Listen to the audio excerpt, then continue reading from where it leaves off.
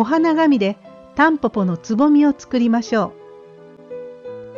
花びらをふわふわに開くところまではタンポポの花の作り方と全く同じです。緑のお花紙も花と同じように屏風折りにしてギザギザに切ります。